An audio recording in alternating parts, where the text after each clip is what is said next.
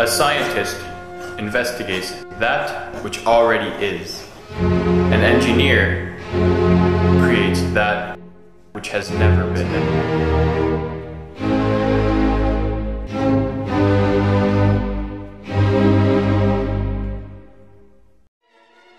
During the Age of Enlightenment, there was a revolution in natural philosophy.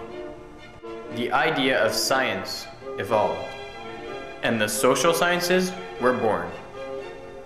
The science of human thought, human behavior, our systems and our economics, and our relationship to this extraordinarily complex world.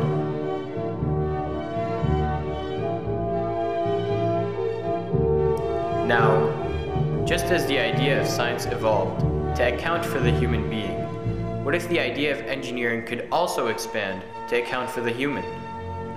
Oh, so would that be another industrial revolution? That would be industrial engineering.